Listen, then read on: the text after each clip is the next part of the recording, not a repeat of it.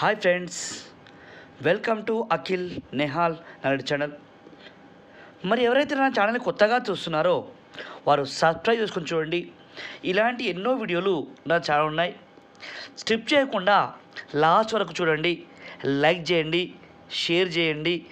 మరి ఇవి మీకు ఎంతో యూస్ఫుల్ అవుతాయి friends okay start now views అయితే వస్తున్నాయి కానీ లైక్స్ మాత్రం అవ్వలేదు నేను ఒక ఫైనల్ లైక్స్ అయితే ఎక్స్పెక్ట్ చేస్తున్నాను దీనిపైన.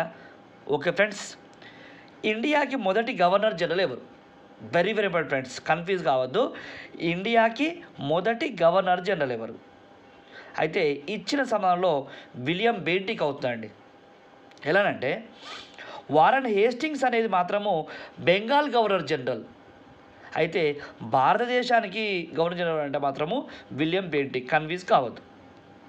లార్డ్ డల్హౌసీ అంటే ఆయన రాజ్యసంక్రమణ సిద్ధాంతాన్ని ప్రవేశపెట్టాడు.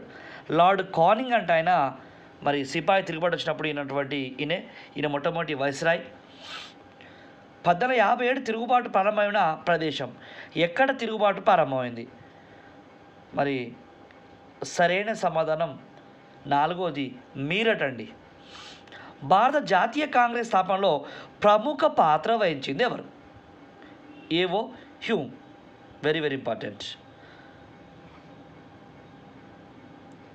పంతొమ్మిది నలభై రెండు క్విట్ ఇండియా ఉద్యమం ప్రాధాన్యత. క్విట్ ఇండియా ఉద్యమం ప్రాధాన్యత. ఇచ్చిన వాటిల్లో సరైన సమాధానం ఇక్కడ మూడోదండి. జాతీయ విద్యకు తీవ్రత వెలువరించింది.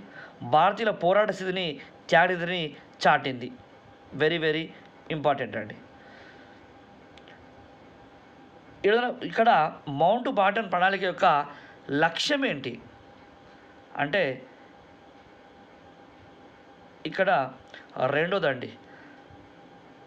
రాజ్యాంగ సభ ద్వారా భారత రాజ్యాంగ రూపకల్పనకు మార్గదర్శకాలు ఇవ్వటం. రాజ్యాంగ సభ ద్వారా భారత రాజ్యాంగ రూపకల్పనకు మార్గదర్శకాలు ఇవ్వడం అనేది సరి అయిన సమాధానము అవుతుందండి. అయితే ఇక్కడ ఎవరి కాలంలో క్రిప్స్ మిషన్ ఇండియాకు వచ్చింది? క్రిప్స్ మిషన్ ఎప్- ఎవరి కాలంలో భారతదేశానికి వచ్చింది? అని అంటే ఒకటోదండి lord Lithgow lord Linlithgow. ఇది క్రిప్స్ మిషన్ వచ్చింది నైన్టీన్ ఫార్టీ అండి పంతొమ్మిది వందల ముప్పైలో.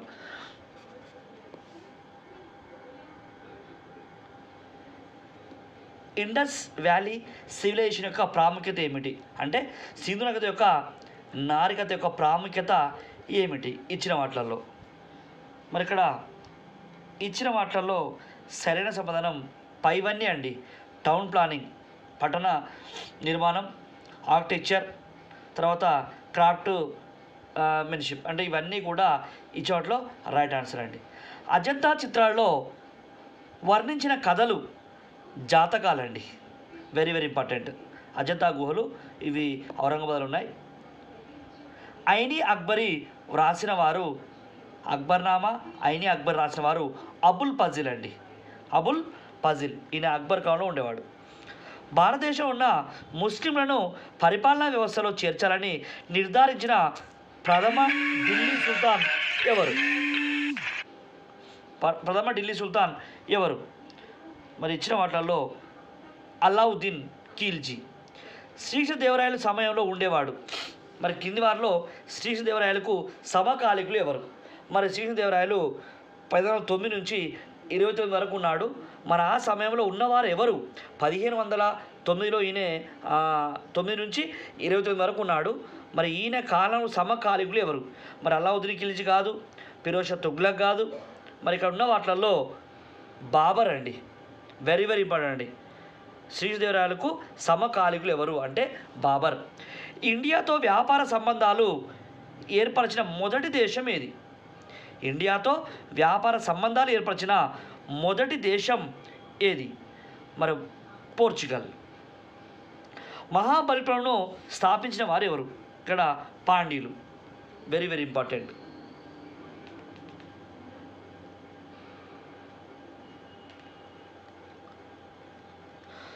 తర్వాత బెంగాల్ విభజన ప్రక్రియను ఉపసంహరించిన వారు బ్రిటిష్ గవర్నమెంట్ మోఫ్లా తిరుగుబాటు పది ఇరవై ఒకటిలో ఎక్కడ జరిగిందంటే ఇది కేరళ.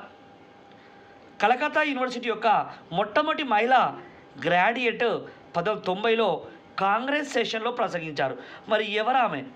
అని అంటే ఇచ్చిన సమయంలో కాదంబరి గంగూలీ అండి. సో ఇవి అండి ముఖ్యమైన చరిత్ర బిట్స్ ఫ్రెండ్స్. మరి వీటిని మీకు యూస్ఫుల్ అవుతాయి నోట్స్ తయారు చేసుకోండి. మరి యూస్ఫుల్ అయ్యే విధంగా ఉంటాయి.